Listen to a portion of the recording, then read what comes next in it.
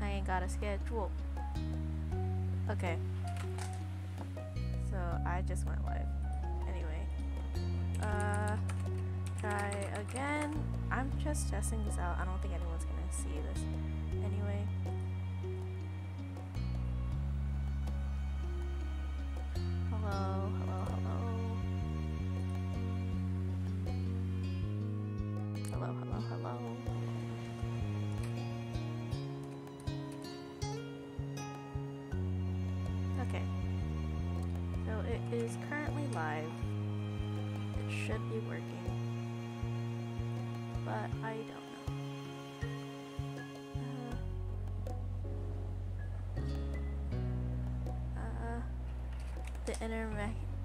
Machinations of my mind are enigma.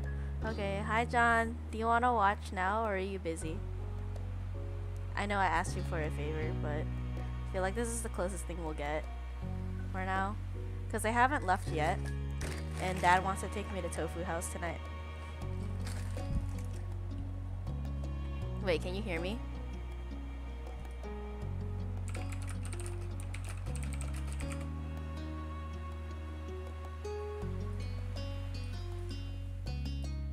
Sir, can you hear me?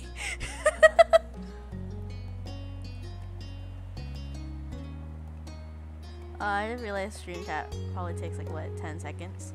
So it's just 10 seconds of me staring blankly at the screen, waiting for someone to chat back.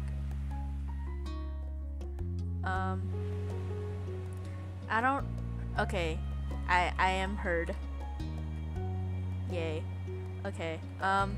So I'm gonna do the random challenge with you, John. Feel free to comment. Probably, and it's gonna be like 10 seconds delay, so I probably won't listen as well, sadly. So we're gonna do new file. Um, I played this game like three times already, so I know all the tutorials, but I'll explain it as time comes by, in case somebody else comes by. Um, and the choices aren't appearing. Oh, okay. No, I don't want the uh, tutorial to pop up. So for this one, I actually wrote down last night how many choices there are for each little section here to create your MC. So your MC is also going to look different based off what I roll. So there's six different face types. So I'm going to roll a six, uh, a D6. It's here that I have, but I don't have it like over in, I don't have like something that you guys can see sadly because I'm, I'm not that smart. Anyway, D6. So I got three. So round is one, two, three. So we'll have a pointed face for our MC. And for skin tones, we have. Um, for skin tones, we have six skin tones. So I'll be rolling for six again. I got a one, so our character will stay tan. For the eye shapes, we have 12 of them. And I think I have a D12. I do, I have a D12. That's three. So one, two, three. That's what our character is gonna look like. Um, for eye color, we also have 12. I got 11, so a sec. I need to switch situate my desk space. Okay, I get 11? Okay, one, two, three, four, five, six, seven, eight, nine, ten, eleven. Okay, I look pretty cool. Green eye. Pixar didn't. Ha- I don't have a setup for something to stare at my thing yet. Okay, maybe one day I will. I'm sorry.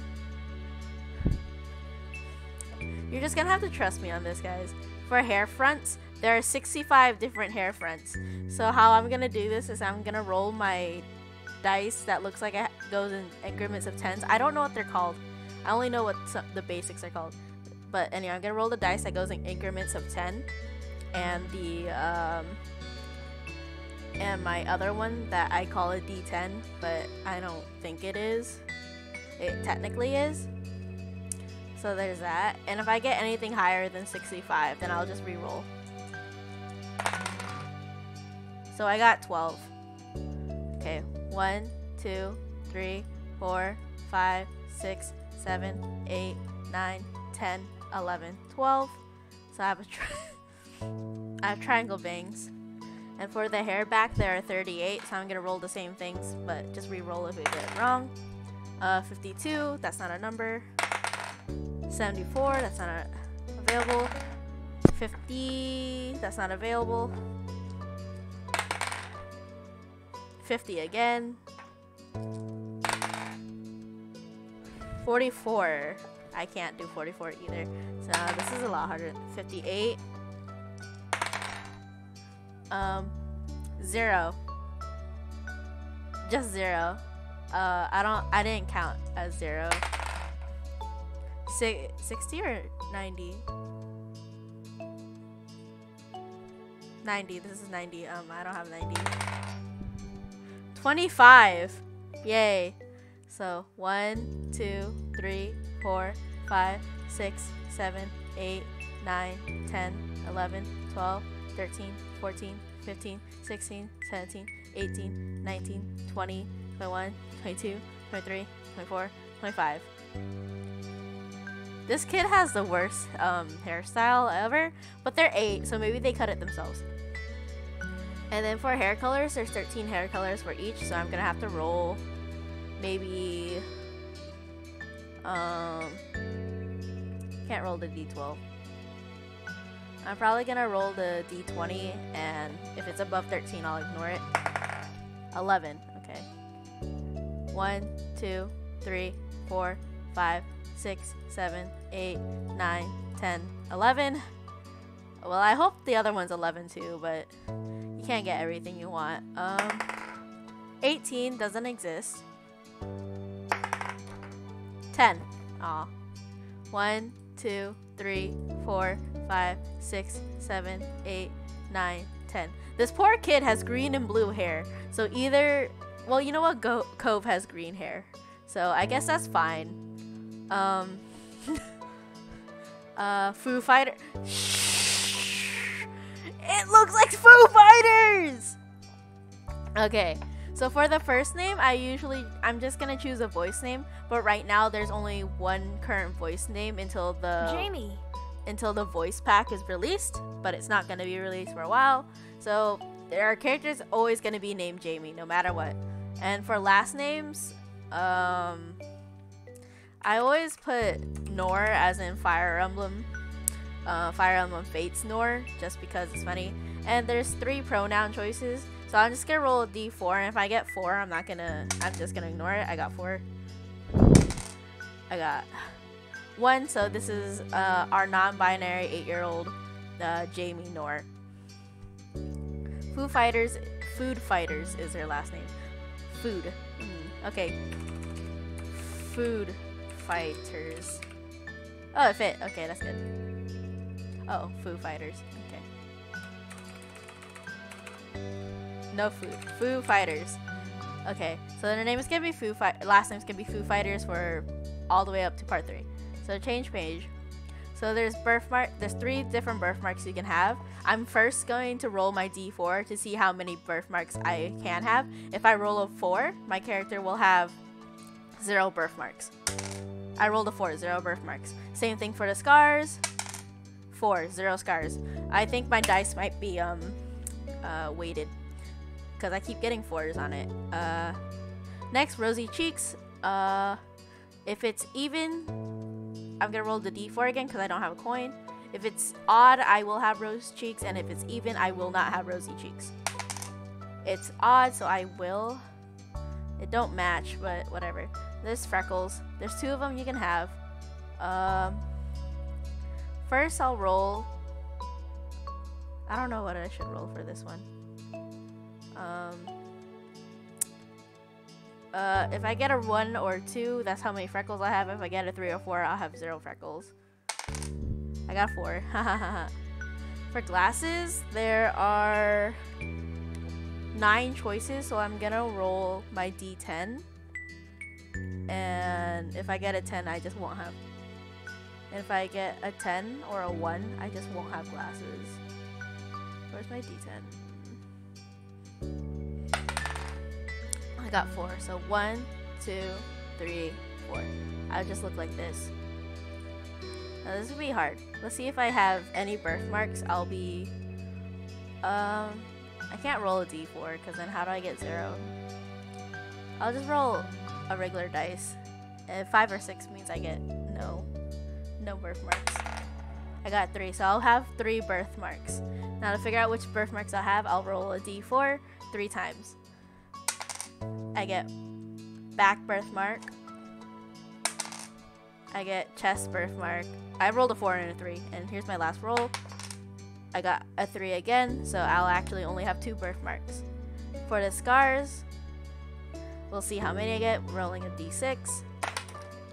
Um, I messed up that roll because it fell on its side. Um, four. I'll get four, four scars.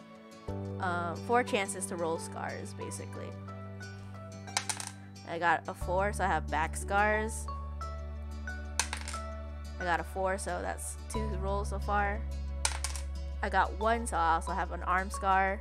And last roll, a four. So I only have an arm and a back scar. We'll see if we have freckles on my body. Uh, I'm just gonna roll a d4. Four means I get no freckles. I rolled three, so I have three chances to get freckles. I rolled a one, so I have arm freckles. Um, rolled a one, so that's another arm freckles. And another one, so only arm freckles for Jamie. Uh, clothing types, I feel like you should be checking some, but it's optional. So I don't know if my kid just runs around naked if they have the chance to or something. But um, I think I'll roll a d6 like the others. So I get two chances to get clothes. um, I roll one, so I have pants. And I roll a three, so I also have skirts. But no shirts. It's only pants and skirts. You guys gotta look at the eight-year-old's chest, I guess. Because the eight-year-old hates wearing, hate wearing shirts. Jamie fucking hates shirts. They're, um, they're, uh, they suck. Accessory types, again, I'll roll the d6. Where is it? I got one, so I have one chance to get an accessory type. And four. So I wear hats, pants, and skirts, but no shirts. Truly, um, truly the person of their time. This is what eight year olds wear. Eight year olds wear pants, skirts, and hats, no shirts. And we're done. Thank you, Jamie. Summer in Sunset Bay was a special time of year. Your usually sleepy town began to bustle. It was a popular tourist destination, with people coming from all over to enjoy the beach, the weather, and the relaxation that came with both. The smell of the ocean, crisp and salty, hung in the air, bringing three whole months of schoolless vacation with it. During the summer, your moms didn't like you to wander too far outside your neighborhood, so you knew the area pretty well. That included the people. Families came and went from Sunset Bay, but they mostly stayed and did what your mom called putting down roots. They built businesses, they got to know each other, and they definitely said hello to the nice young kids who waved when passing their stores. Going for a walk around town mostly meant that the familiar, friendly residents waved or asked how your family was, or most often just said hello. Um, I shall roll a d6. It's gonna be one, one, two, three, four, five, six is how I'm gonna do d6. Four. So one, two, three, four. You didn't you didn't really get why you always had to say hi. They saw you every day, but you nodded back at them anyway. It was the polite thing to do after all, and your moms had taught you always to be respectful.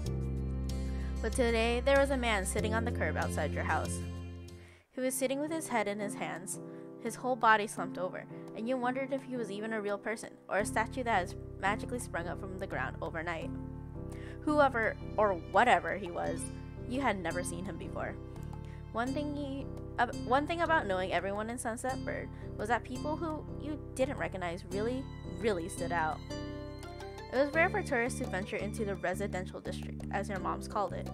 So, for you, not knowing who a total stranger was set off a lot of red flags.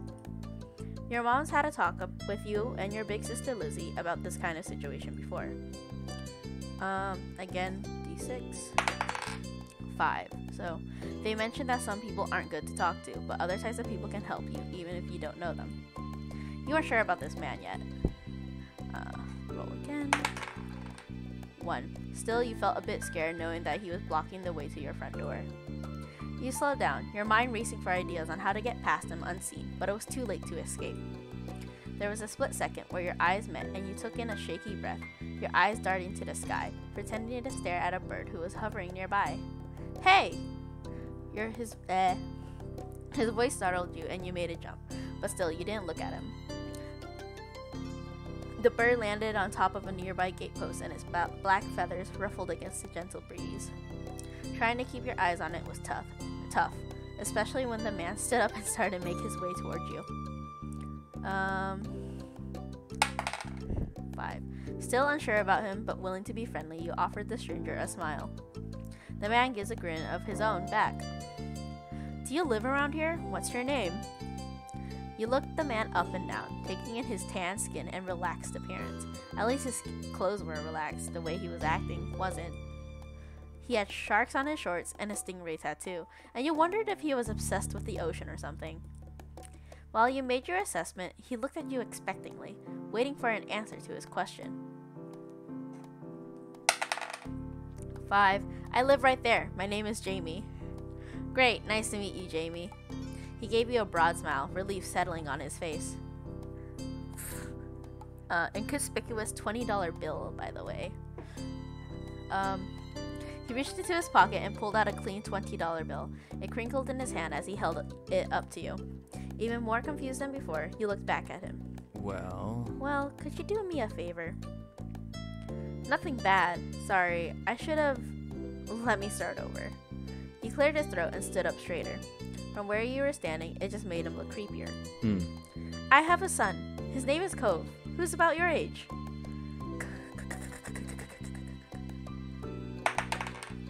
One. Cove. That seemed like a strange name for an actual living person to you. But definitely the kind of name someone like this guy would give their kid. We moved in across the street. See? He gestured toward the house that had been empty for a year, his watch catching the late afternoon sunlight and reflecting off the walls. The gigantic for sale sign was finally gone. You must be Jamie Foo Fighters. I met your moms earlier and they told me you were eight, just like him, so. And he shook the $20 bill to bring it back to your attention, a hopeful smile tilting his lips at the corners. Can you try to be friends with the boy? Just give it a chance and you can keep this. He's a good kid. You'll like him. Do you mind? But you've got to keep it a secret too, okay? It wouldn't be friendly to say his dad sent you. One. Okay. You eyed the man. What could be so bad about this Cove kid that his dad would need to bribe strangers to be friends with him? What do you say? Want to make a deal? Um, you know what? You took the bill. You carefully plunked the bill from his outstretched hand, grinning at the thoughts of what you could do with so much cash, with that much cash. Um, there's five choices, so this time I'll roll the d10. Wherever it is. I got a one. All the sweets you could ever want. Your tummy rumbled thinking about it. And that was a start, you thought. The sky was the limit with that kind of amount. The man smiled at you, his eyes crinkling at the sides as he did. Great! That's great. I'll bring him by tomorrow. I wanted him to meet and greet with the neighbors today, but. Well. well, I don't know where he's gotten off to. He laughed when he said that, but with the way his face looked, you thought he actually wanted to cry. If. If you see him, can you tell him to come on home? He's got a pink cast and glasses. You can't miss it. Uh, there's four choices, so D4 is perfect for this. Um, wherever it is. My D4 is clear, so I can't see it when I put it down. Two. Sure thing. This definitely wasn't the normal way kids made friends. You knew that, but you were still going to help. The man smiled and reached out to pat you on the head, paused before doing so, then pulled his hand away instead. Your mom's are already checking around for me. Such a thoughtful group you are. No, I better go look too. Can't put everyone else to work while I keep sitting here. I thought he might come back and. That's not what's important. I have to go. Thanks again, Jamie. So much. I guess green hair is normal. Yeah, I mean, considering that Cove has green hair and that his mother has even greener hair, I think anime hairstyles are normal. It's, and and dyeing them different, like the weird colors, isn't like so weird. Except sometimes they make comments on hair color and sometimes they don't. So I don't know. So I guess green hair, only green hair is normal so far. Um, he jogged off down the street without another word. You decided to check the hills behind your house. We. Step 1 First Sight. The chirping of crickets in the tall grass greeted you, quiet and familiar. From the top of the hill, you could see the ocean. As you walked, you listened to the crash of the waves on the shore and the seagulls squawking as they settled down for the night. Um, three choices, D6.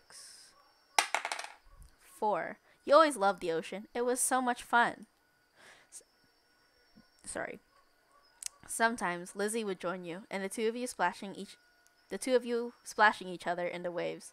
Those were the best days. You took in a deep breath. You wanted to try to relax and couldn't. You weren't sure what, but something told you you weren't alone. So you glanced around. There was a boy sitting at the top of one hill, almost completely hidden within the long grass and white flowers surrounding him. His head was buried in his knees, staring ahead by himself. For whatever reason, probably just that he wasn't paying attention, he hadn't noticed you yet. You watched him a minute longer, feeling a bit like you found a deer in the wild. Though deer, oh, excuse me. Though deer didn't have, um, there's five choices, so D10. That's not a D10. No. Seven. So one, two, three, four, five, six, seven. Wavy eyebrows. But this new boy did. You weren't sure what else in the world had eyebrows like that, if there was anything. After a few more seconds, you took a step forward, then another. And then he glanced your way. His aquamarine eyes reflected the light of the moon. You stopped, raising a hand to acknowledge him and show you weren't scary. Um, three choices, d6. Two. Hey, Space Cadet. I don't know why I called him that. Um, with a start, he jumped to his feet, his hands balling into fists at his side. He didn't say anything, just stared at you in a strange way. He'd been crying. There were traces of tears on his cheeks and his knees, soaking the hem of his shorts, and his eyes were still shining with a few more. You obviously caught him off guard. His pink cast seemed to glow in the twilight, though when he caught you staring at it, he hid his arm behind his back. Something the man earlier had said stuck out to you. Cove? Uh, eyes wide, he studied you. How'd you know that? You touched the money in your pocket, feeling it crinkle beneath your fingertips. Got four, so I met your dad. Oh. Oh. So, is this your hill? He gestured with his uninjured arm to the patch of grass surrounding you, his face falling at the prospect. I can leave if it is. Uh, I got a one, so yep. Bye then. Wait, you can stay. I'm not kicking you out.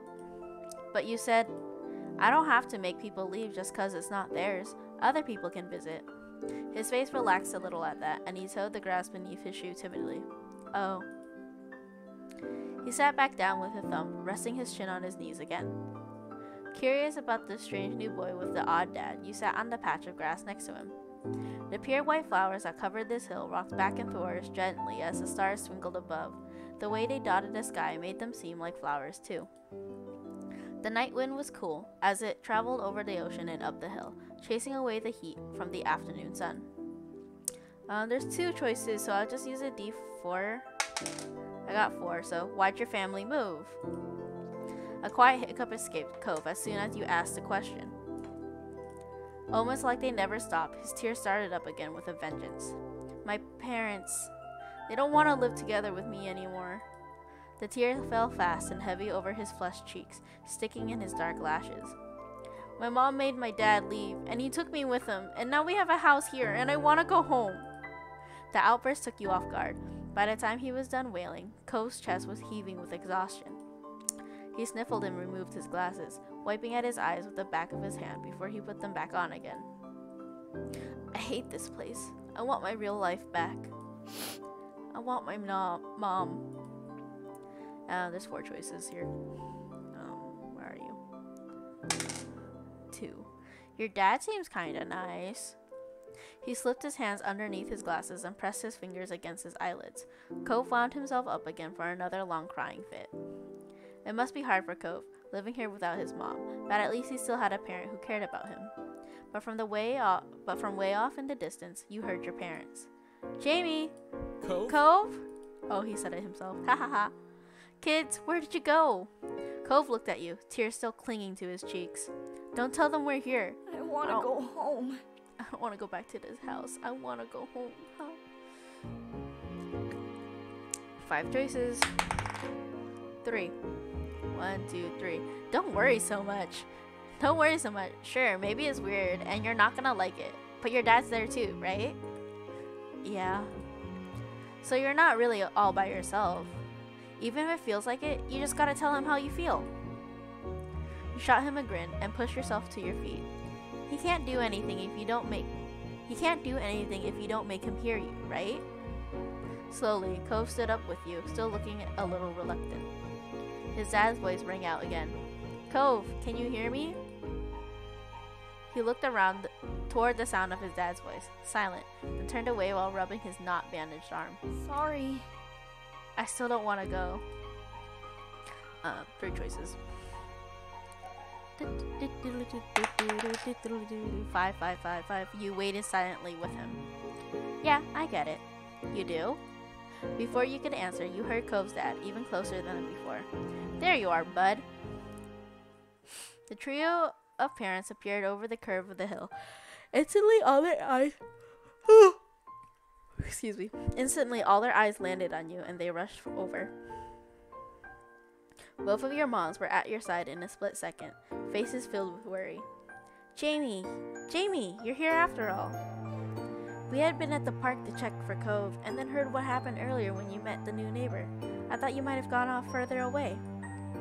Um, four choices. Two. Why is everybody acting like this is such a big thing? We didn't know where you went. We were worried. yes. Thank God you're both fine. Were you two having fun out here? You looked over at Cove, who was wiggling against his dad's tight hug and pushing at his arms. Uh, four parts. Three. Um. Um. You didn't think that was ri- right word to describe it, but weren't sure what else to say to your moms. Finally, letting go of his squirming, scowling son, Cove's dad turned to the three of you. That's a relief. Thanks very much for finding him. I really don't know this neighborhood. Good thing Jamie knows this whole area so well. Absolutely. We should be getting home now. It's been a long day for us all. Say goodbye, Cove. Bye. The two of them walked off into the darkness, heading toward the neighborhood. You watched Cove's bright pink cast until it disappeared. Hmm. Tell you what, we'll have a proper play date tomorrow, okay? Your new friend's dad wanted to bring him by to see you and Lizzie. How does that sound? Sounds like words, but um, roll. I got five. Oh, it sounds like words. Both of your moms laughed, the sounds overlapping into a warm, familiar chorus. Mommy put her arm around your shoulder and led you towards the path. Mommy's this one, by the way, just so you guys don't get confused. And then this is mom. Satisfied, and more than a little ready to go to bed after your long, exciting day, you followed them home. Okay, so this part of the game is where you get to choose like your comfort levels right here and your interest levels right here. And there's three comfort levels. It's nervous, relaxed, and direct. And currently what's available is three different um, interest levels. Indifference means you're not friends. Fond means you're friends. And crush means uh, if you know English, a crush is a crush, but um, you like him basically. So I'm gonna roll a d6 to figure out how comfortable I am with Cove. Jamie is with Cove. I am whatever. I got a six, so that means I'm direct with him. And then for interest levels, I got a four, which means I am indifferent. We are not friends yet. Um, we are not friends yet. So you're both eight year olds. I've played this game before with uh, a indifference interest level at this part of the game because there's three parts of the game where you play at three different ages. But this part of the game, being indifferent to Cove isn't so bad because it's just like, oh, this is my first summer knowing you. It's like, we'll just kind of hang out. It gets more heartbreaking if you stay indifferent for the rest of the game. It really do. Anyway, it's time to start. Uh, let me save real quick. Early the next morning, you were poking at your food, eating it slowly. Your sister Lizzie had run out earlier to go play, but you stayed put.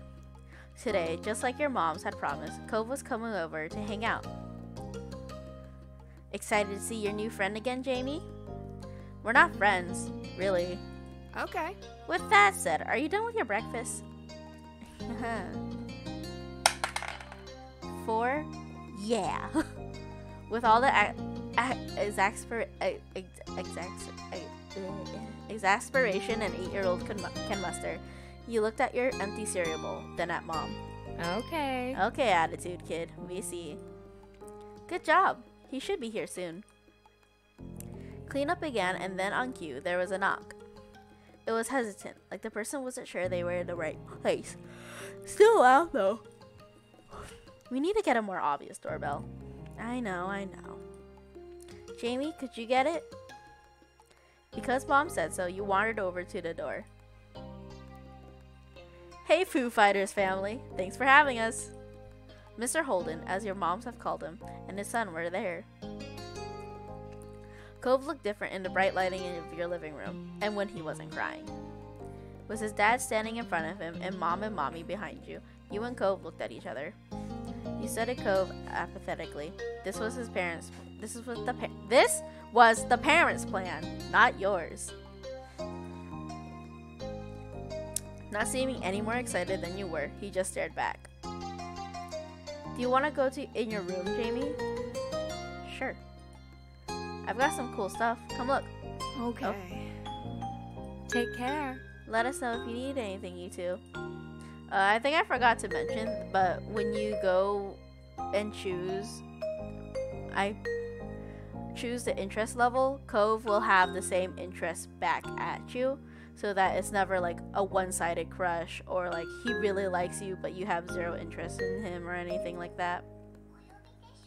But you do have a choice to like later on in the game, let's say you choose crush and then he confesses to you you can just deny him any right to dating you, even though you have a crush on him.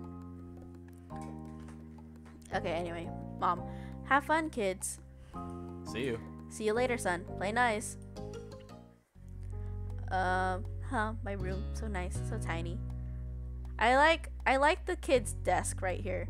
Like, I don't know if they have a chair over to the side, but look, look how nice this desk is. And I like when desks are like on the wall like this because it also looks like you can fold it up. I doubt you can actually, but it looks really nice how this room is laid out. I also like this little bed for kids. It's like a wall. I don't know, it just looks really cute. Anyway, you led him to your room, putting out puffing out your chest a little bit at the sight of your treasures. There are lots of stuffed animals, a cool bed, a window to look out. It was a great room. You hadn't had anyone to show it show it to in a while, but you were really proud of it.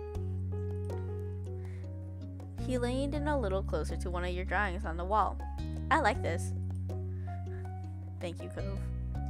Um, let's see what my what Jamie will actually say though. Four. I don't.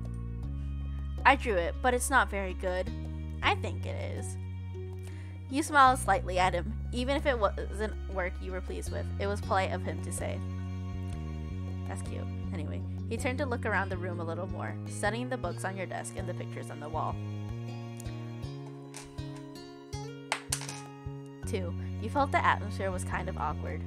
You wanted to say something, but didn't know what, so you let him keep looking. Then his eyes landed on a tiny box of beach things you had collected, tucked away by your door. He took a step towards it before hesitating and pointing at it instead.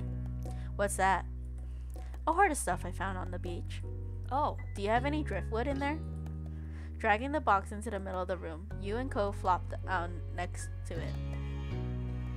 I do. Look. You gestured to a piece at the bottom, still covered with specks of sand. Neat. Neat. This is a good collection. You got the sense from the tone of his voice that he wasn't just saying it to be nice or to be like Shiloh. He actually meant it. I forgot about Shiloh. Shiloh? He's friends with my older sister, and he's supposed to hang out here this more afternoon. Hmm. Do I have to see him? You don't have to do anything, but he's going to be here. Anyway, I found this gigantic shell here stuck to an even bigger rock. You pulled out seashell after seashell, explaining what you got in each one and holding them up against the light. There are big ones, small ones, pink, purple, and orange. Most of them. Sorry. Most of them you washed off in the bathroom sink when you brought them home, cleaning off the sand. Uh, da, da, da, D6. Three! Your voice faltered a little bit, but you kept going as best as you could. You were really proud of your shell collection, and it made you happy that Cove was interested in it too. Apparently fascinated either by the stories or by the shells themselves, Cove listened with what looked like the full force of his attention. It was a new experience to be the center of such dedicated focus, even if, if it was only directed at the shells.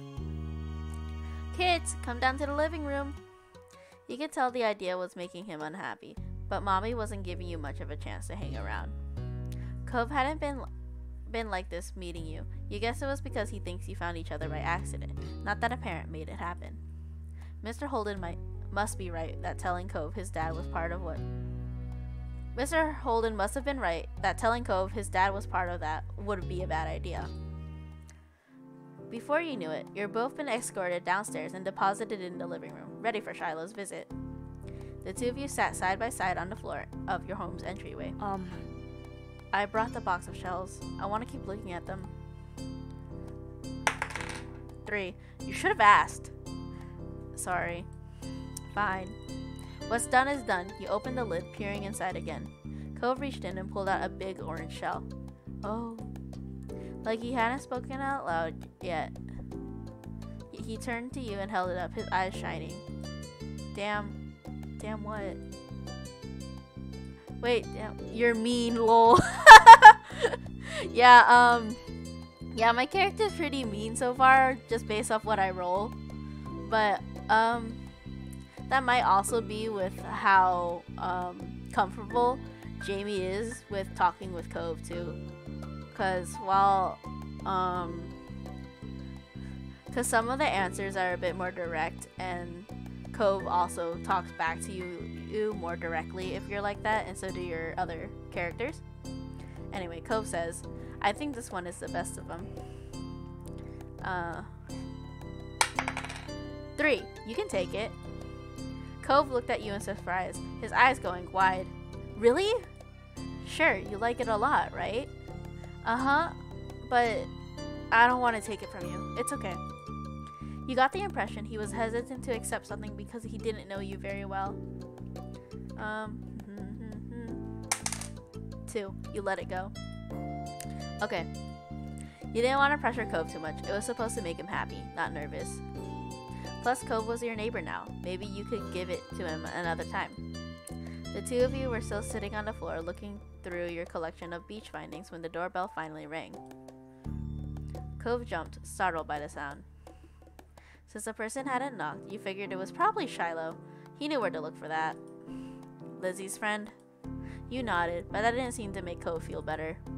It was already obvious that Cove didn't hide his feelings well. You could tell what he was thinking right away. This isn't a good idea. It's just Shiloh, and where would you even go? He's at our only door, and if you go upstairs, he'll find you. Cove glanced around the room, his eyes wide, and finally paused with his gaze locked onto the back of the house. I can go out the window. He was already walking towards it. Scrambling to think of something to say, you stepped forward, then paused. Uh, there's six choices, so I can just roll a d6. I got six. Good idea. Let's go. Hurry, they'll see where we're going. He glanced back at you, then nodded. The two of you made your way to the window together. It wasn't much of a distance to clamber out, but by the time you landed gently in the bushes, you looked up to see that Cove was already taking off away from the house. Um, D4. D4, D4, give me. I got one. He was fast, but you knew you could outrun him if you had to. Cove! You ran as fast as your legs would take you, grass whipping around your ankles as you did so. Cautiously, Cove slowed to a halt and looked back at you. Where are you going? I don't know. Somewhere else. I just don't want to see. Jamie!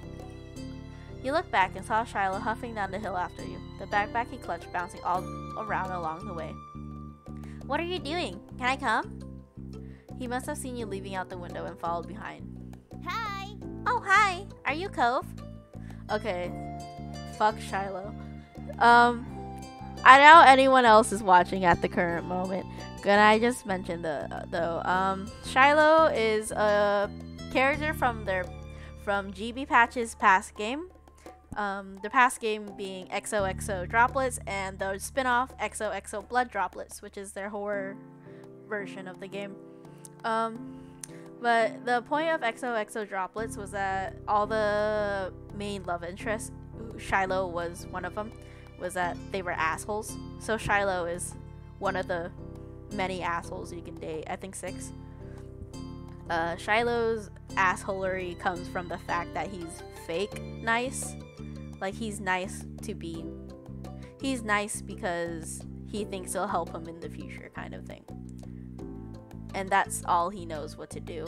So he seems like a fake, um, fake guy, which is why no one likes him in the game. Uh, hold on. I saw something.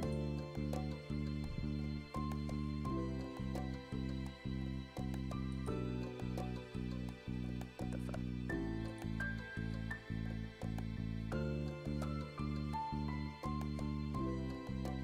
Sorry, I saw something, but we're good. That and he's ugly. John Dad is so mean. Um, I think Shiloh's cute. He's actually one of the easier characters to date when you first play XOXO Droplets. Not because it's like hard gameplay wise, considering what the XOXO Droplets is like, but he's just not as mean as the others.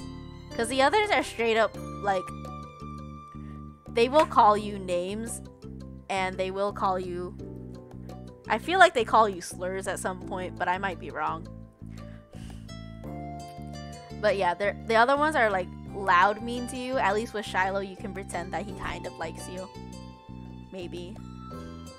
But yeah, Shiloh is probably one of the more. Shiloh is one of the more likable characters. And I think Jeremy is also one of the more likable characters. Because the reason that Shiloh and Jamie, who you won't see until part two, um, get in this game is because they're the most popular characters from the past game. oh god, I can't. My throat's so dry. Anyway. Shiloh. Oh, hi. Are you Cove? Yeah. Yeah.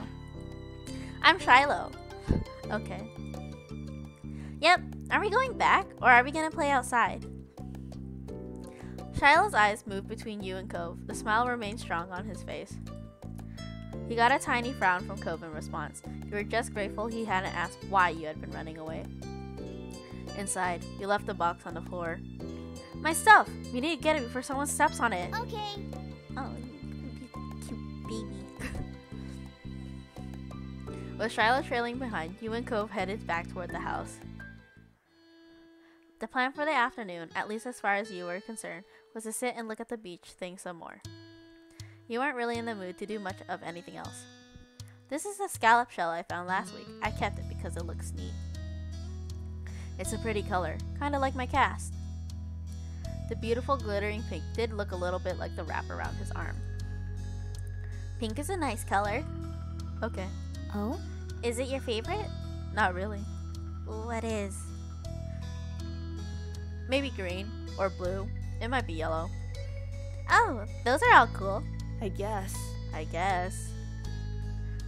Um, dice, dice, dice, time. Where, where did it land? Landed on a three. Not sure how to deal with the suddenly more awkward silence, you look back at your shells. Mm.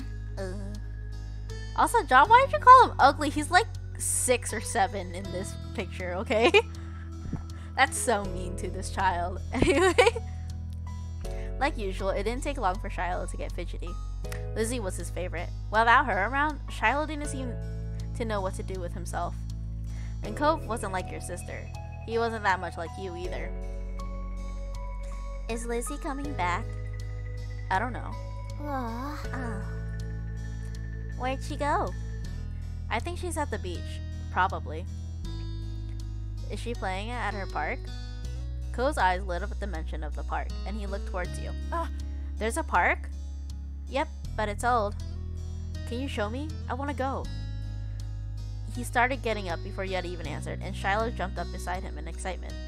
Really? You do, you do too, right, Jamie? The park is fun.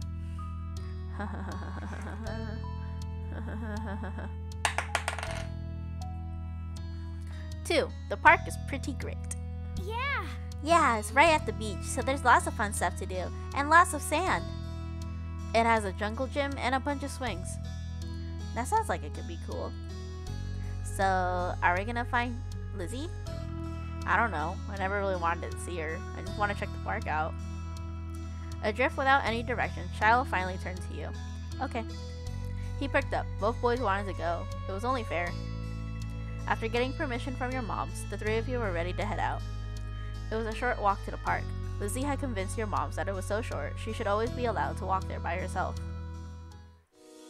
When you found her, she was hanging on the jungle gym, swinging back and forth. Hey, Lizzie! Her face lit up when she saw you, her big brown eyes going wide. Jamie! Shiloh! Hi! She dropped to the ground and landed with a soft thud in the sand. In a split second, Shiloh had abandoned you two and scrambled over to stand by her. You were used to being left out when it was just the three of you, but now Cove was here. You weren't sure if this was an improvement. Who's that? It's Cove. He's new. Hi. I remember. Hi, Cove. Welcome to my park. Nobody ever comes to play here, so this is where we get together. She gestured wildly with her arms as she present the area to the newcomer. While Lizzie continued talking, you took the chance to kick off your shoes and wiggle your toes through the warm sand. Nice, huh? In this neighborhood, I'm the one who comes up with the ideas. You are? Uh huh. Yeah, I am. Who else could handle the job? Lizzie's the oldest. By a lot. My mom said you're Jamie's age. Yeah. Thought so. I'm still the only one in this group with double digits. What about other kids? Other kids? There aren't any. We're the only kids here, and Shiloh is just visiting from another place. Not even tourists really bring their kids here. This is the land of ancients. Be careful with the oldies. Don't try to don't try to steal your youth. Oh. Oh. For a second, it looked like he might cry again. But something in his eyes shifted and he looked back at Lizzie. What kind of old people? Like moms and dads or grandparents? Grandparents who don't have kids. They hate kids. Why? We haven't done anything. Um. What was it? Four. Only some of them don't like kids. You interjected quickly, hoping Lizzie wouldn't take things too far. Sh- sniffled, his forehead creasing with worry. Lizzie was staring Cove down, but Cove wasn't even looking at her anymore. He didn't seem to care that she was there. He went into his own head. Shiloh was the next one to speak, completely unaware of the situation. Um, um, I met Lizzie and Jamie in school. You'll see tons of kids there when summer is over. I don't want to go to a new school. I don't want summer to end. Shiloh looked down to the dirt. He hadn't had much luck striking up conversation with Cove. I like summer vacation a lot too. All the building tension in the air suddenly vanished when Lizzie laughed. At Shiloh's discomfort at how weird she thought Cove was, or something else entirely, you didn't really know, but she laughed, face scrunching up. okay. Welcome to Sunset Bay Cove. Take a seat, put up your feet, and get used to it. Wah. Wah is right. For the rest of the summer, Cove was always there. You saw him more often than Shiloh, and on some days when she was in a bad mood or busy, you even saw him more than Lizzie. Ugh. He became a staple of your everyday life, the way sun and lunch and the beach were. The first summer, you hadn't really been interested in him one way or another. He was just kind of a fact of life, someone you met with because he was there. Of course, that was only the start of things. Um, so there's 10 different memories. I have the DLC downloaded because I really like uh, everything about this game already. Uh, let me go text my friends real quick. Good morning. It's 3 p.m. where I'm at, but good morning. So there's 10 events. So I want to always perform at least one event. So I will uh, roll how many events we're gonna do in total. So we'll always have one. Run away. Run away from what? Oh, the DLC. Run away. Yeah. Um, it's a really fun one. Hopefully we get it when we roll. Oh no, I have to redo that. Fucked up. So we'll be doing. is that a seven? Seven events altogether. Let me write this down before I forget, because I feel like I'm gonna end this after like maybe two or three events, uh, memories that we do. So let me see. Twitch. P1. Seven. So we're gonna do seven events. Each event will be number one through ten, and we're gonna now we're gonna see which event we do first. We'll be doing number one together, shopping. Good one. Cove's dad. Uh, let me save real quick. It's lots of the. If there's one thing about this game is that there's kind of like a lot of reading, which I like, but some people don't like when they read visual novels, which are called novels. But I'm not gonna point that out to them.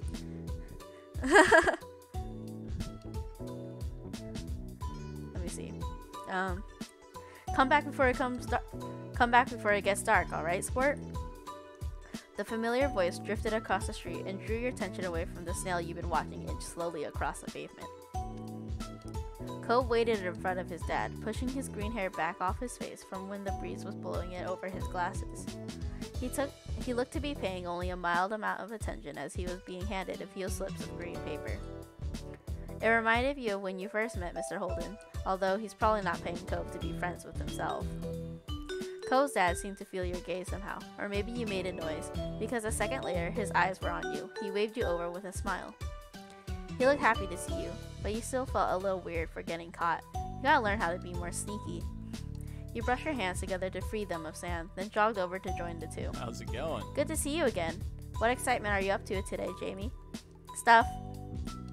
I found a really cool snail across the road. He was slimy, with funny eyes, and a nice shell. Mr. Holden grinned at your enthusiasm. After you finished answering the question, Mr. Holden's attention returned to Cove, who was preoccupied with folding the bills he had into a tiny rectangle. Sounds fun. You know, Cove was about to hit the stores by the beach. Why don't you go with him? He shrugged. Cove was in the process of making a similar motion. You didn't have anything else to do, and you hadn't been to the stores in a few days. Maybe there was something new to look at. Maybe. Is that okay? I guess. I was going by myself, but I guess it is. You don't have to. Great, I'm sure you guys will have loads of fun. Mr. Holden reached into his pocket and pulled out a leather wallet filled with money. He found it odd, since your moms only ever seemed to have cards in theirs. Here. He leaned in to pass a crisp 10 to Cove, giving him a wink and a whisper. Get something for your friend, too. Sure. Good kid. That's my boy. Cove's dad ruffled his son's hair as he was straightening back up, the bill in his hand still held out towards the green haired boy. Take care. Cove accepted the bill after a second and slipped it into his pocket. But with one last not Tuesday. Ah fuck. He turned and started walking. He followed after him, intrigued at the possibilities his outing might bring. Cove strayed towards the gentle tide, creeping up the sand, and you all fell, and you fell into place beside him.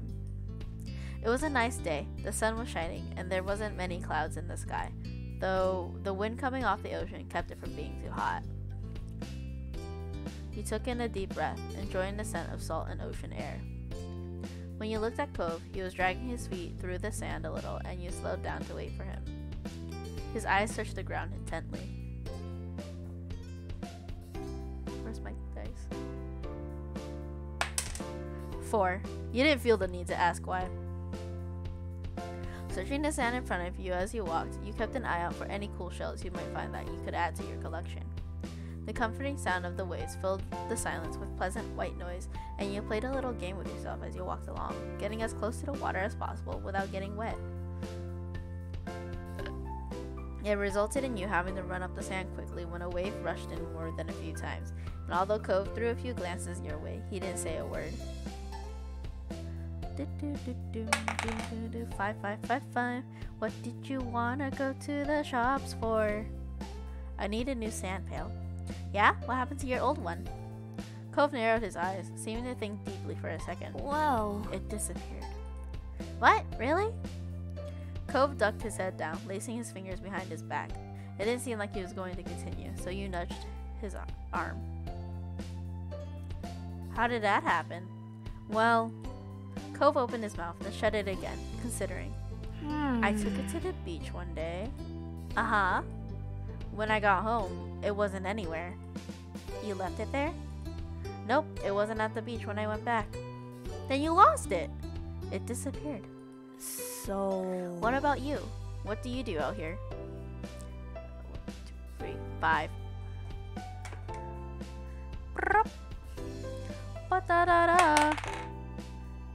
Nothing. I don't like the beach. Fuck, Jamie, you live here! What? Cove looked taken aback by your declaration, wrinkling his nose as he stared at you in confusion. The beach must matter a lot to him, but that makes sense. His name was Cove, after all. Once you reached the shopping area, the noise level grew exponentially. No longer just waves and footsteps, but the chatter of people enjoying their lovely summer day, the call of birds trying to find bits of food left behind, and lots of salespeople trying to get attention. You sniffed the air as you walked beside Cove. You could still smell the ocean, but there were other scents now too pizza, pretzels, hot donuts. Uh, it's not very nice. There's too much of everything, but you weren't going to leave yet. And Cove would definitely want to look around for at least a while. That's what he had come to do today. Cove was glancing from one side to the street to the other with a look in his aquamarine eyes that you couldn't quite work out. Um. What's that? Cove pointed to a large crowd of people gathered near a few tables with large colorful umbrellas blooming from their middles. You couldn't see past the adults who were blocking the way, but you knew that there must be something worth seeing. Without another word, the two of you hurried over to see what all the commotion was about. Feast your eyes on the amazing Alexander! In the center of the crowd was a man with a tall hat and a funny green coat that had three long tails. There was a little table next to him with a cloth hanging over it that read "The Amazing Alexander" in a glittery, gold, glittery golden script. Why tell people his name if it's already on a sign? Cove hummed with understanding, then turned to walk away just as the amazing Alexander began shuffling a deck of cards. I want to see the show.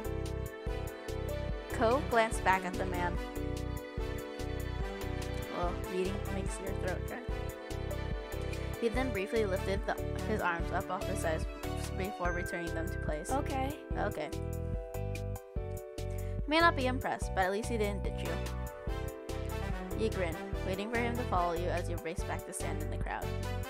With that, it began. The Magic Man. I like your words, funny Magic Man! the Magic Man pulled one card out of the deck, showing it to the curious onlookers. It was a four of diamonds. Watch closely. You did, squeezing through a few of the adult onlookers to get a better view. Suddenly, the man snapped his fingers, and the card just disappeared. Whoa! Cove. The amazing Alexander, who had earned his title, turned his head and looked directly at you. He reached out with a kind smile. What's this behind your ear? What is it indeed? Six. You backed away. It wasn't enough to deter him, and the crowd of people gathered behind you made it impossible to move any further. He smelled like popcorn and candy when he stepped closer, and you swallowed anxiously. You felt a tug, and then he pulled the four of diamonds out from behind your ear. What? You knew that I couldn't really have come from here, but you still didn't get how he done it. There was a light applause from the crowd, and the man gave a deep bow. This is for you. The magician plucked a pair of balloons from a clump of them tied down to his table. Both were in the shape of a dolphin instead of having a normal circle. And one for your friend, too. Thank you for being my assistant. Wow. Now you were really grateful he chose you. After that, he went to someone else in the crowd. Pick a card, any card. Mm. My uncle does that every time he visits. Not the balloons, the stuff with the cards. Cove spoke plainly while reaching over to take the dolphin that had been designated for him.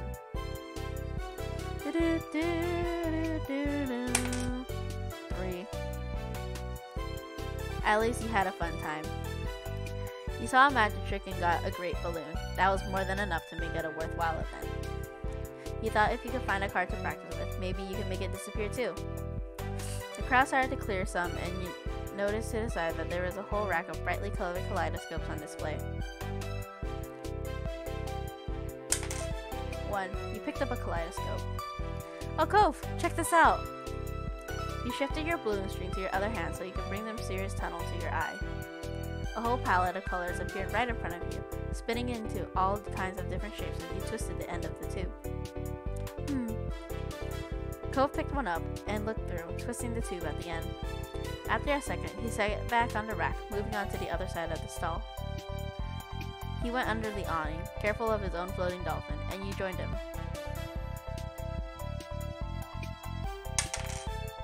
I don't really like it here. Jeez, my kid has like. Fuck Jamie, damn. You didn't have to come.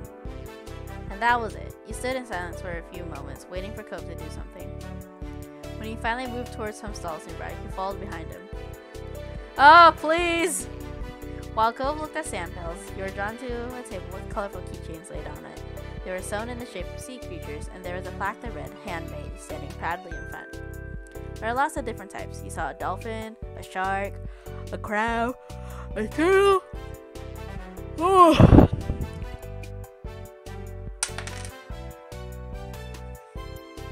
You picked up the turtle. Your hand stopped on the sleeping turtle, just barely poking his head out of the shell. It had flecks of metallic green on his back that caught the sunlight when you picked it up. You remembered the turtles you had once seen at the aquarium. You had been mesmerized by the way they gently glided through the water. You were instantly enamored. Checking the price though, your heart fell. Six dollars. You didn't know much about money, but you thought that was a lot to spend on one thing. You rarely had more than a five dollar bill to your name.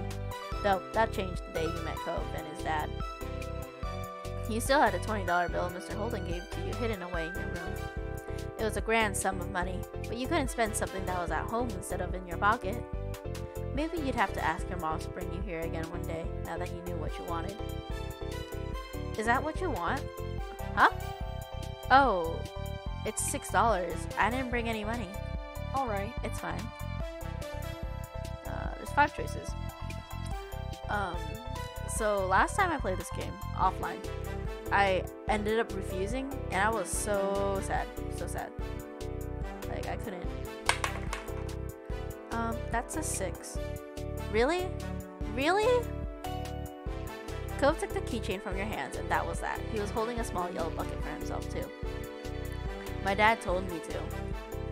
You beamed, excited at the idea of displaying the keychain somewhere in your room. It was nice of Cove's dad to let you buy something for you too. He you had to remember to thank him next time you saw him. After Cove paid, the two of you stepped out of the store side by side, your balloon dolphins knocking together and spiraling around in the air. You watched Cove hold up his new pail to his face, examining thoroughly. Hey, Cove. Yeah? Uh.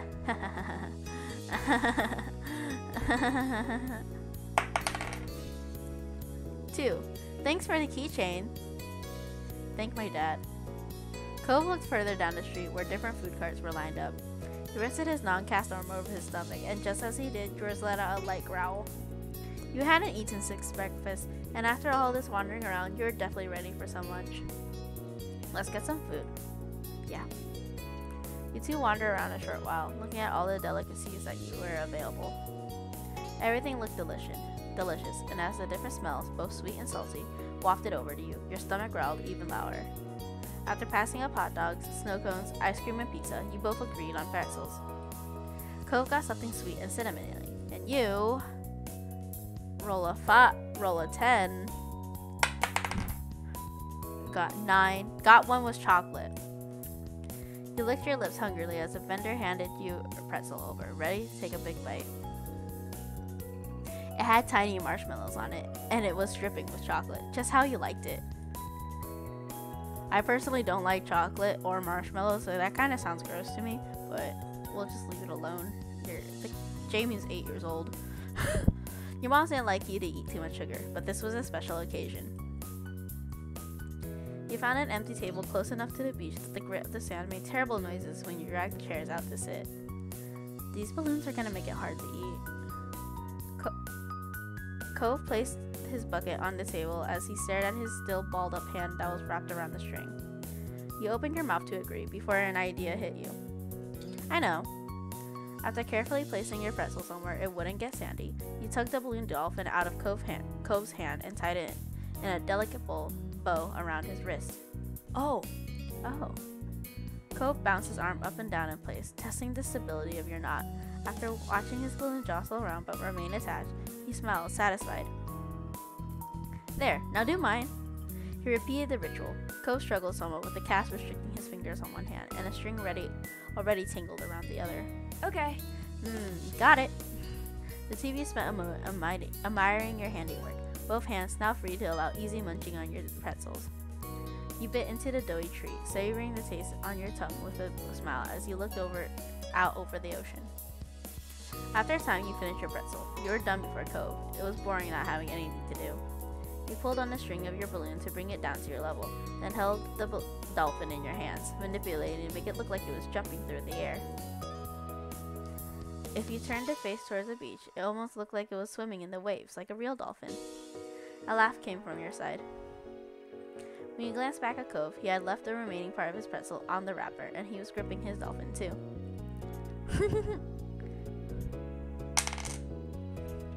My name, mine's name is Sam. They're just a regular dolphin.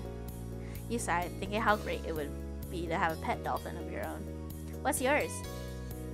Cove considered his this question. Placing the balloon against his table. Uh, oh. And resting his free arm across in contemplation. It's. With a loud pop, the, dolphin exploded into ribbons. ah! Ah! Oh no. For a second, all Cove did was gape in shock, like you. Then his cheeks puffed up, squinting his eyes, and you saw tears start to glisten. No, no, I hope I don't do the main thing. One! You made a joke! I fucking hate this dice! its name is Pop? That's a weird name for a dolphin. Cove continued to stare at the ribbons that remained, his brows furrowed. That's not funny, Jamie. It's kind of funny. Cove sniffled, looking up and narrowing his eyes even more at you. No. Sorry. no, it isn't. It was still funny to you. His reaction was too good. Cove spent the rest of the outing sniffling and didn't say much else. The passing of Cove's balloon was the last major event of your adventure. In the end, the two of you headed back late that afternoon. You separated on the beach, and while Cove went straight home with his brand new sand pail in hand, you decided to sit for a while. You watched the waves and the sunset, fiddling with your new keychain. Another Saturday day was drawing to a close. It had been nice for the most part. Hopefully, there wouldn't be any tears next time. Alright, we have six more events to go through. Let's roll for what we're gonna do next. 10. We're gonna do a sleepover. We're not friends though, so it's hilarious. Sleepover time. Okay. Alright, kids, we're done with dinner. Come to the table. Your stomach grumbled right on time, as if it had heard your mom's words. You halted your game and looked over. Mama was almost done setting the table. She was walking around the mahogany wood and in the process of putting down cutlery. Mom was still in the kitchen, humming under her breath as she turned off the stove and put empty pots in the sink to wash. From beside you, Jamie stirred, uncrossing. Oh, Lizzie stirred. What the fuck? Lizzie stirred, uncrossing her legs and standing up. She stretched her arms above her head. Finally, I'm ready to eat. Then she cast a sly glance in your direction. You recognize that look. Last one to the table is a rotten egg. I haven't. But it was too late. Lizzie had already bolted towards the kitchen.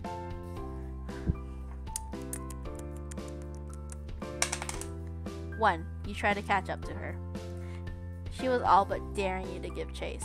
You planted a head against the ground to jump to your feet. For a moment you stumbled, but you righted yourself easily enough, then rushed after her, though there wasn't really time to close the gap. It was a short distance to the kitchen table. Lizzie managed to get there easily enough, slapping a hand over the wood. Mom moved just before Lizzie could bump into her. With an exasperated sigh, she resumed her work. I win again! Okay. Four. You didn't bother trying to talk her about that. Uh, I won! I won! That means you're the rotten egg. Lizzie grinned, her hands on her hips, then looked over your shoulder. Cove, you think so too, right? You blinked. You almost forgotten about him. The fact that Cove preferred to keep to him himself didn't help matters any either. You spotted Cove, still on the floor. His legs were crossed beneath him, the arm with the cast resting in his lap. He looked at the two of you with a slight frown. It felt sort of strange to see him still here so late. Tonight, Cove had come to your house for a sleepover. Your mom's and his dad had planned it a few days ago. Do, do, do, do, do, do, do. You hadn't expected it when your mom told you, but you didn't mind Cove sleeping over. It was just for one night. Even if he's not really your friend, he isn't the worst person in the world. Cove pursed his lips at Lizzie's question, but he didn't respond. Maybe he was planning on ignoring her. Not that Lizzie would make it easy. Come on. Well, did I win or what? Cove still didn't respond. He turned away, refusing to wade in. Lizzie glowered, but glowered? Glowered? I don't know what this word is, but it had no effect. Fine, you don't have to say so. You can both be rotten eggs. That's enough. Nobody here is a loser or a rotten egg. You're each farm fresh. Which is a sentence I never thought I'd say. All right. Now listen to mom and come sit at the table for dinner, all three of you. You and Lizzie obeyed, sitting across from each other at the t- edge of the table. Lizzie blew a raspberry at you when mom turned her back. Two can play that game. You stuck your tongue out right back. When mommy pointedly cleared her throat, though, the two of you stopped. Your parents brought the last of the food, which then they took seats further down the table instead of sitting right next to you and Lizzie. Only Cove was left out. He had stood up from his spot on the floor, but he hadn't made a move towards the kitchen. Cove, you can sit too. Slowly, he eyed the four seats that were left. Thanks to the new seating arrangement your parents chose, one free chair was beside you, another next to Lizzie, and the last two were on the other side of where your moms were sitting. Do-do-do-do-do-do. Mhm. You can sit anywhere you want to. He hung his head and scuttled past you, Lizzie, and your mom's. Cove went to the chair on the opposite edge of the table and sat down. It seemed being far away is what he wanted. Your mom's frowned. You shrugged it off and turned back to your plate. Now that everyone was situation situated, Mommy began to pass out plates. Okay. Dig in, kids. I cooked a little bit of everything for dinner tonight. Be sure not to avoid all the veggies. Ugh. Yes, Mom. Each person at the table served themselves, except for one. Cove hesitated again. He fidgeted with his hand clamped on top of his knees. He didn't seem very comfortable doing stuff in someone else's house. One dish seemed to have his eye at least. That's pineapple chicken. Wanna try some? Hmm. Not really. Sorry. But then your moms had noted that Cove still had nothing on his plate as well. Do you not like any of the food, honey? Well, Maybe he hasn't tried Hawaiian food before. He hasn't? Wow. Please don't talk with your mouth full, Lizzie. Lizzie swallowed the bite she was eating. Then she spoke again. He should try it now. She turned to Cove dramatically. Unless you want to shrink. That's what happens when you if you miss a meal. Elizabeth, that's not true. You know that. Cove squirmed under all the attention. He fidgeted with a fork between his fingers. I've had some things, just not any of this. Oh shoot. I knew I should have asked your dad what your favorite foods were. It's alright, Lonnie. Maybe we'll find a new favorite today. Weren't so sure about that. Cove didn't look like he was going to be trying to food anytime soon. Um. Four. You should try something new. Aren't you tired of eating the same old things? You were only trying to help, but it seemed to make Cove even more resistant to tasting any of the dishes. He sat back in his chair, folding his arms across his chest stubbornly. I like the same old things. Mom shook her head over the debacle this was becoming. It's okay. New it wasn't always exciting for everyone, but it could be this time, Cove. You shrugged. You didn't understand how someone wouldn't want to eat all of the delicious dishes on the table in front of you. Mommy took the lead, suggesting a couple things that Cove might like to try, and soon enough he had a small pile of food on his plate. At first, Cove poked at the food. Clearly, he was apprehensive to eat anything, to eat something new, but he took a few exploratory bites. Right? It's good, huh? Isn't it? You don't have to keep asking. He still speared more meat with his fork and ate it, chewing thoughtfully. It's not bad.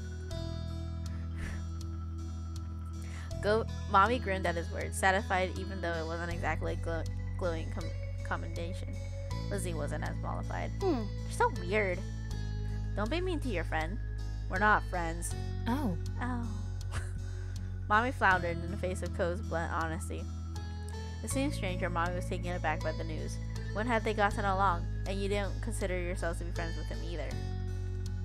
You had gotten used to seeing him around a lot over the summer, but the two of you hadn't struck anything that could count as friendship. Your mommy looked at your mom and only got a shrug. No. Elizabeth, don't call someone weird. There's no such thing as weird. As a weird person and a non weird person. There's just different perspectives. It's not nice to say to someone, anyone, but Pam. Mom tried, Mommy tried to whisper exclusively to Mom. Her attempt to make it audible over the sounds of clinking silverware meant you caught the quiet words anyway. They're not friends. He said so. As parents, we can only try, and sometimes we fail. Not all kids will be thick as thieves. Now less talking and more eating, kids. You need to clean up and start winding down for bed soon. But- White mom still scares me. Why? What did Pam do to you? what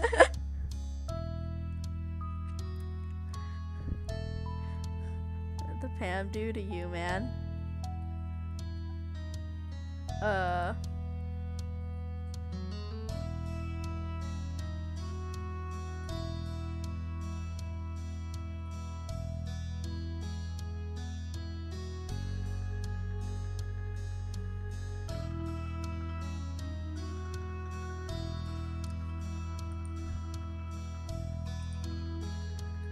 Wait, why does white mom scare you? Don't ignore me.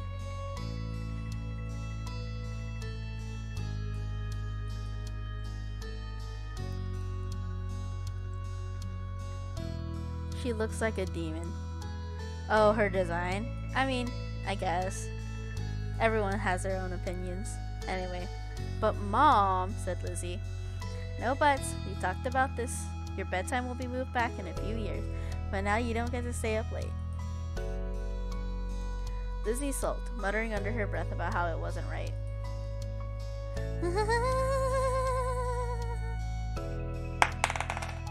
Two, you groaned about it as well.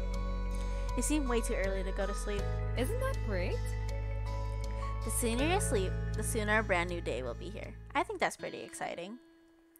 You weren't sure you agreed. The rest of the summer passed by uneventfully. Cove was silent for most of it, even when your moms attempted to include him in conversation. All too soon, the table was cleared, the games in the living room were put away, and you were all steered to your bedrooms. Mom finished Oh, hold up. Oh. Mom finished tucking you in and then kissed your brow just as Mommy poked your head, her head in the room. All ready for lights off, you two? You're lying uncomfortably in your bed, blanket hiked up under your armpits. You could kick it off later if it got too hot. Mom had set up the sleeping bag on the floor for Cove, just beside your bed. He had already wiggled inside. Hmm, we are. Good night. Perfect. I'll go say goodnight to Lizzie then. Mom t- tweaked your nose, chuckled when you scoffed in annoyance, and left. Mommy took her place, sitting on the edge of your bed. Sweet dreams. Sweet dreams, sweetie. She pressed a soft kiss on your forehead. You giggled as strands of her hair fell forward and tickled you. Mommy smiled down affectionately at you, then moved her head attention to Cove, who watched from his spot on the floor. Do you need anything before falling asleep, honey? What does your dad do? Um, sometimes. Sometimes he picks me up and lifts me really high and he shakes his hands like he's gonna let go. But he get catches me again. he keeps doing that until sometimes he does drop me on my bed, or other times he lowers me down and we pretend like I'm crashing. Cove became had become pretty excited when talking about the nightly ritual he and his dad shared.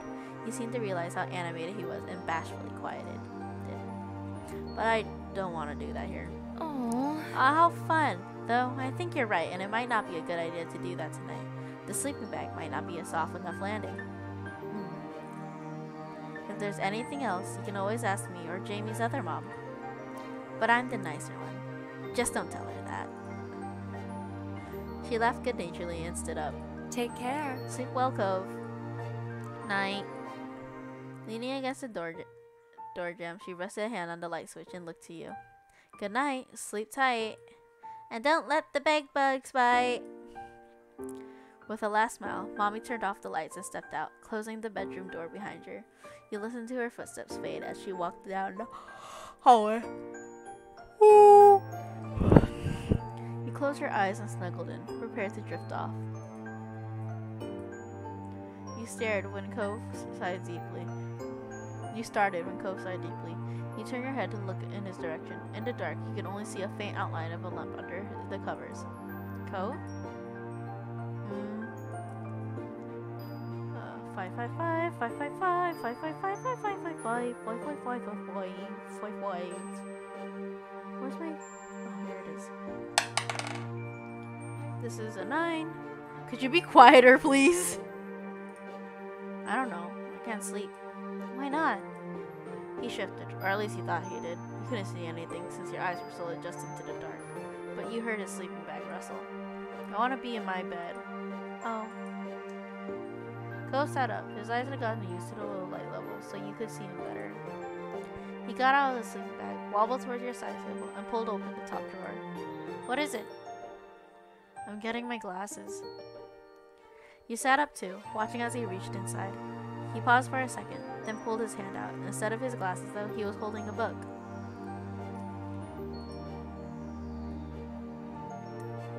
Ugh. Cove turned it around in his hands, trying to figure out the proper orientation for it. You knew even without reading the title which one it was. That was one your moms would read to you. It was special.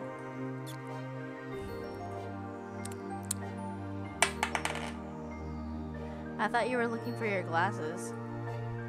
I was. Then I felt this. It looks cool. The compliment he afforded your special book had you grinning, your confusion forgotten. It is really cool. Oh? Oh, yeah? What's it about? It's a story about a squire who wants to become a knight, and there's magic. Does it have mermaids? No, but. Um.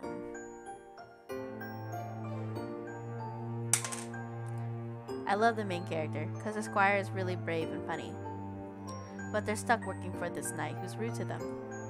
Nobody believes they can be a knight, but that doesn't stop the squire, so they go on an adventure and show the king they're worthy. Usually, Cove sported a disinterested expression on his face, or a sad one. You could probably count the number of times you've seen him smile on one hand. Right now, though, he looked excited as he flipped the book over and focused at the backside to try learning more. You're reminded of the hours you spent hearing the tales, no matter how many times you read it, or had it read to you. You were still entertained by the story and pictures inside. You glanced out the window. The moon was high in the sky.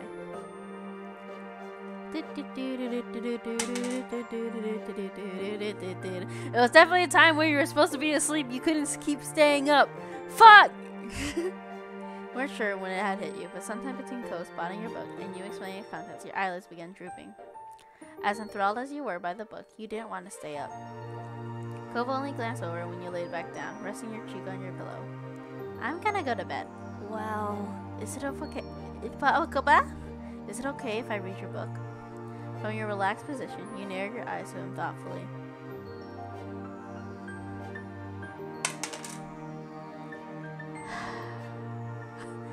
I rolled a two. You have to put it back. Cove frowned, disappointed, but he did as you were instructed. He went back to the side table and placed it inside. You watched as he reluctantly climbed into his sleeping bag, leaving it unzipped. It was the middle of the night, but it was summer, summer, and still hot. You snuggle closer to your pillow, your eyes slipping mercifully closed. Good night. Silence descended upon you like a blanket, and soon you were fast asleep. When your eyes opened again, your bedroom was pitch black and silent. Your head was smushed in your pillow, your pajamas were sticking to you, and your mouth was dry. Slowly, you raised yourself onto your elbows. You yawned, the back of your throat swinging as you did so. You rolled onto your side to sit up in bed, planning on getting water from the kitchen, when you saw a dark shape towering over you. You froze. Then you remembered you weren't alone in your room tonight. Cove? That you? Yeah. Having just awakened at an unknown time of night, you felt a little creeped out. You got up and turned on the lamp on your side table, feeling a little better when the faint light illuminated your bedroom. Cove blinked at you, looking exhausted. He was in his normal clothes again, clothes, shoes, and everything. His pajama pants were left on the floor, abandoned. His sleeping bag was in a similar state. What is it? Can't sleep. I keep waking up. Did you have a bad dream? He shook his head from side to side. No, just can't sleep. It's weird here. You frowned. You helped your mom to redecorate it only a few months back. I like my room. It's weird to me. I want to sleep in my bed. I'm gonna go. What? That shook that shook off the last of your doziness. He was going to walk outside back to his own house, this time of night, all by himself. He noted your shocked expression and looked at you with resolve. My dad will let me in. I've gone outside late before, and I have to go.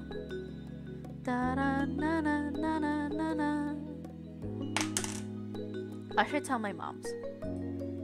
No, I don't want you to. I'll just leave. My dad can call them in the morning.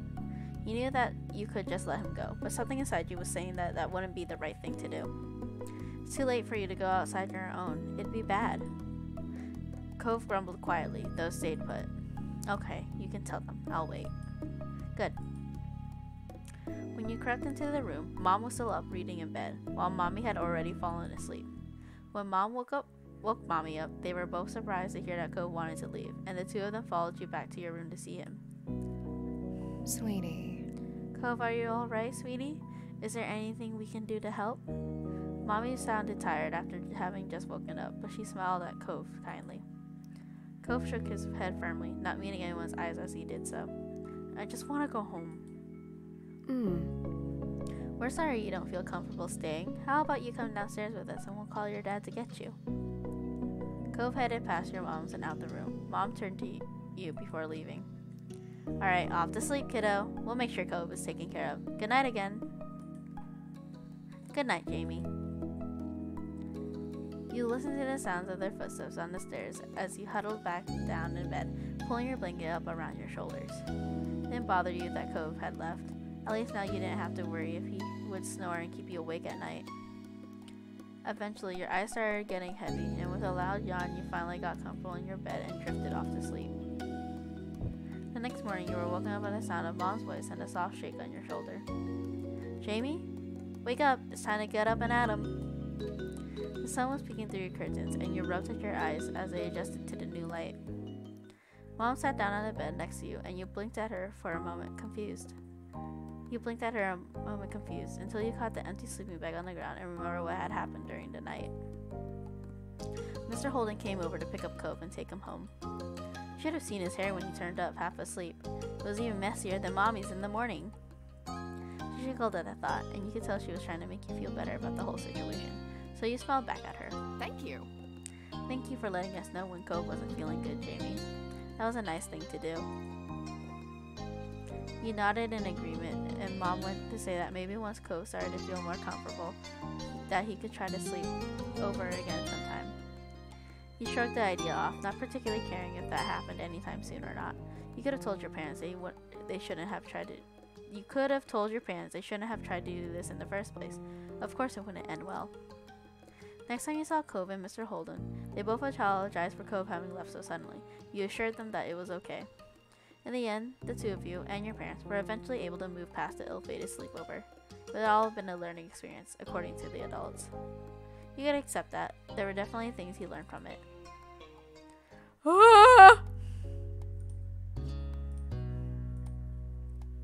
These events are all very unfortunate.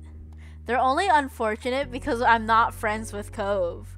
That's what how we rolled it. If we were friends, they would end up a little bit better.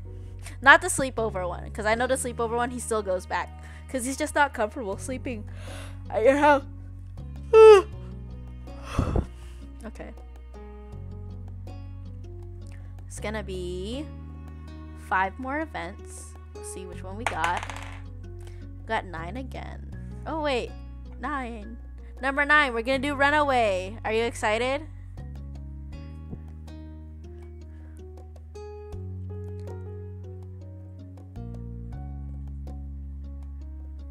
Oh, whoa. Okay.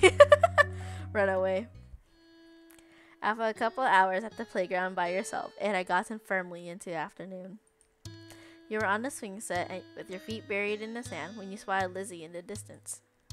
She was rushing over like something was on her tail, chasing her.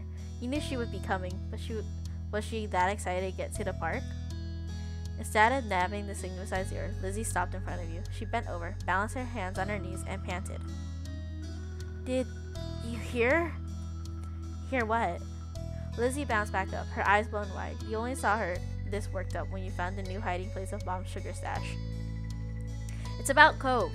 Okay, so this is very different because uh, I, in my original playthrough, which is the only playthrough I played this memory, um, I was already friends with Cove. And in that one, you're able to run away with Cove. like, it starts off with you seeing Cove walking down the street and then you follow him. But in this one, it, it looks like that since you aren't friends with Cove, he just ran off by himself. It's about Cove. Cove. Lizzie rarely brought him up herself, and never with this much urgency. What was this about? You listened, confused, as Lizzie explained. I just came out when I saw lots of people gathered around in the middle of the street. They were talking kind of quietly, so I don't think I was supposed to hear. But that just means it was important. so I snuck up, and I heard everything. She paused dramatically. Clearly, she wanted you to say something.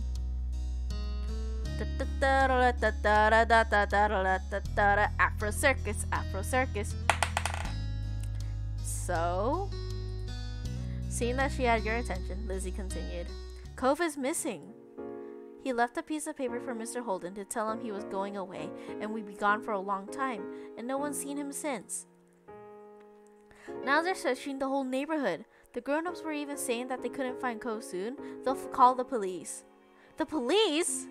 You had seen police officers around town now and then, but you had never talked to one before, much as dealt with them. It was an intimidating thought. Was Cove going to be arrested for running away? You watched as your sister began to pace in front of you. I know mom said Cove was sad about moving here, but running away from home is crazy. Jeez. What el- where else is he gonna go anyway? Um, there's six choices. Six. You didn't answer her. Lizzie scrunched her face up, thinking deeply for a moment. Then she nodded and planted her hands on her hips, determined. I'm gonna look too. You are? Mm-hmm. Mm-hmm. We can play at the park any day, and the more people there are looking, the quicker someone will find them. Maybe I'll be the one who does. I'm the best at hide and seek after all. It seemed like Lizzie wanted to look not only because she was concerned about Cove, but also because it was the most interesting thing to happen this week. Wish me luck! Before you could say anything, she ran off in the opposite direction from where she came. You were left in the dust in a matter of moments. That was your sister for you. But Lizzie's appearance in, the, in this crisis faded to the back of your mind just as quickly. Cove. He told his dad he was leaving to go somewhere by himself. It was surprising news at first, but that sounded like something he'd do when you considered it again. Unfortunately, you had no idea where he could have gone. You thought hard. There were the hills behind your house. He had gone there the first time you met. But something but someone would have checked there already. You wouldn't need the police for that. Cove must be far away, or hiding somewhere if the whole neighborhood was looking for him. He swung back and forth, your lips pursed in contemplation. If I were Cove, where would I go? Lizzie had said Cove was crazy for a run away from home, but he never considered Sunset Bay his home, did he? His real home was somewhere else. There was only one place that came to mind that might be important enough for Cove to go off like this. It was a good idea, except how was he gonna get there? Could he take a bus? Was he gonna walk the whole way? He didn't know what direction he needed to take. But wait, there is only one way he could go. Going down the street just led to the beach, so that couldn't be right. Going to either side would mean he gets stuck by buildings and fences and big slopes like the one behind your house. That left going up the street. You knew that road. It led into the main part of town and kept going all the way to the city limits. Cove didn't know the area well. You didn't think he'd want to go off that road and onto some random other street. Which meant if someone followed that path, they might find him somewhere along it. The grown ups seemed to be all looking in the neighborhood, so. Da da da da da da da. You had to tell them where to search. You rush on where you abandoned your flip flops and slipped them on. They were slapped against the sand as you left the playground. On your way home, you spotted mom almost instantly. She must know about Cove and was looking too because she was wearing a worried frown.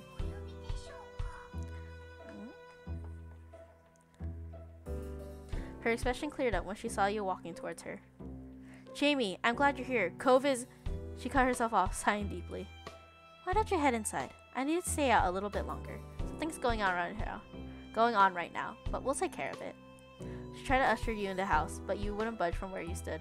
I know where Cove went. What? That that should find you out he's missing already. she shook her head before you could answer. You know what? That's not important right now. Where is it, Jamie? You told her your hunch. She listened intently. The main hmm. street. That's not good. I'll drive down there to make sure he doesn't get far. She, Mom muttered that more to herself than you, but you heard her all the same. Uh, Cove. Is Cove gonna be okay? Mom turned back to you, her features softening. She leaned down and hugged you briefly. Yes. Don't worry, Jamie. He will be. You helped make sure of that.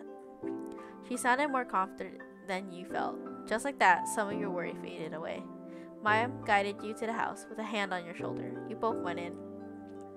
Mommy appeared quickly. She must be waiting nearby. There was a phone in her hand. It worried you, thinking about who she might have been talking to. Mom briefly explained what happened before she grabbed the car keys. Mommy saw her out. Soon after, you were herded into the kitchen. You sat at the table where while Mommy microwaved leftovers, which you gobbled at. You hadn't even realized how hungry you were. The two of you settled into the living room after that. Mommy put a cartoon on the TV for you to watch while you waited. You snuggled up against her side as you watched the show, warm and safe. Your mind was still on Cove.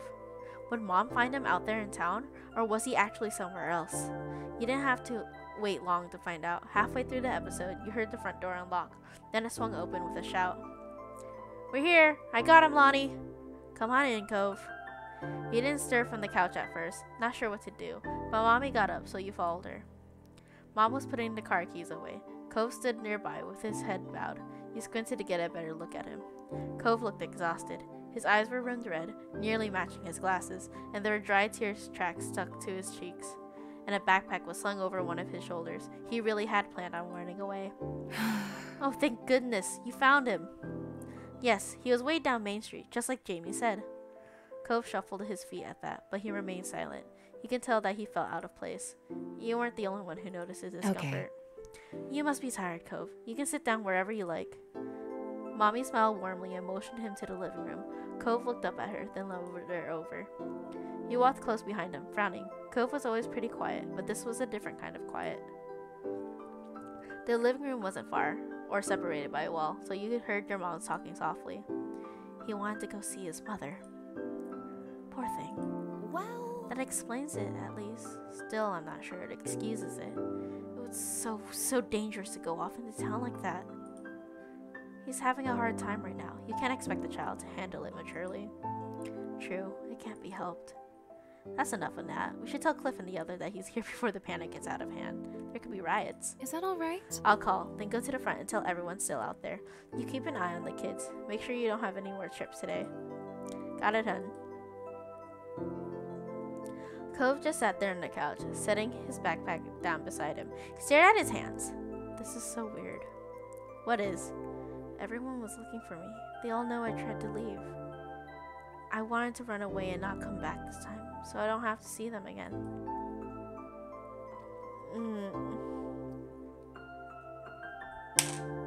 Three. They'll forgive you. Maybe. You had more to say to Cove and to ask him, but before you could, the front door opened. Your mom was back, with Mr. Holden close behind her. He made a beeline for the couch, his gaze trained on his son. Cove? God, are you alright? Strands of his hair had fallen out of his ponytail. His eyes were darkened, like he'd been crying too.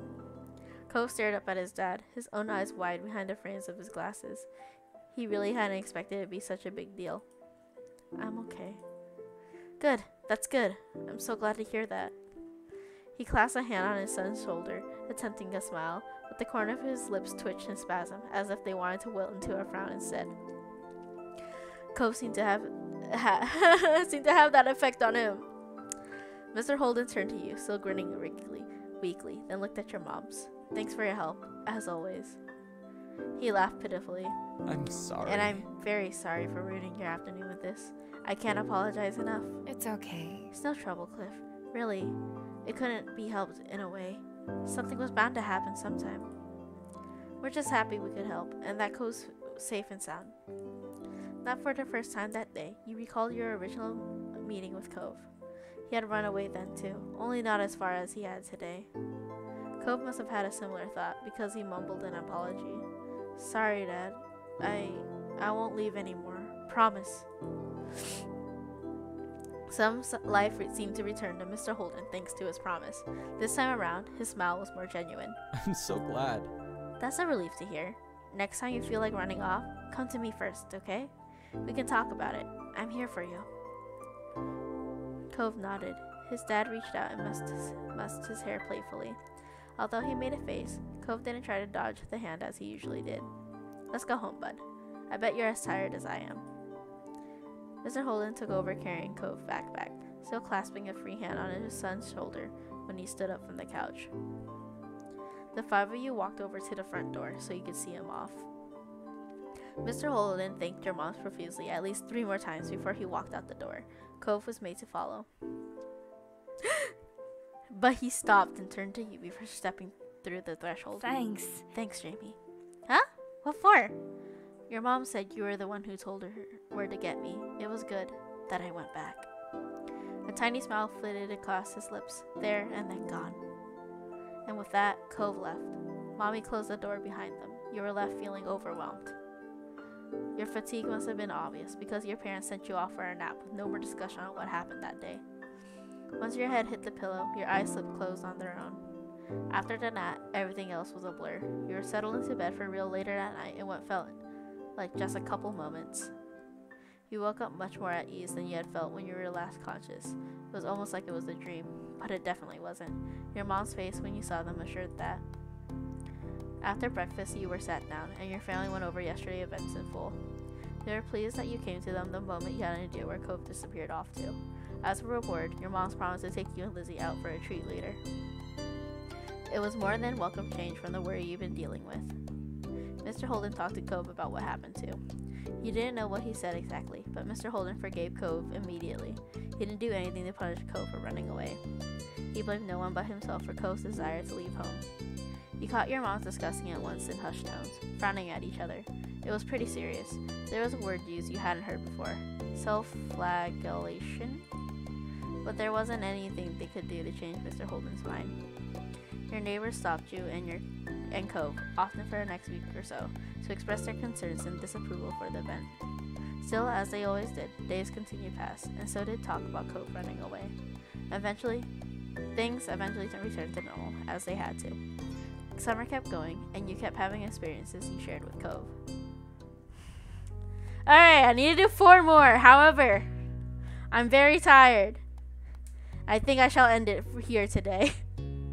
My throat hurts. I need to drink water. Yeah. So, um, I guess that's the end of my stream. Thank you for coming. Um, I assume it was only John that came. If there's other people here, they have not talked, so I did not know. Um, thank you for coming again. Um, it's really fun for me to just read, I guess. Hello, hello, John. I guess it's really fun for me to just read stuff out loud, so I'm glad you came. And this is the closest thing we got to doing the random thing, because I was supposed to go over to John House to do this, just privately. But uh, this is fun.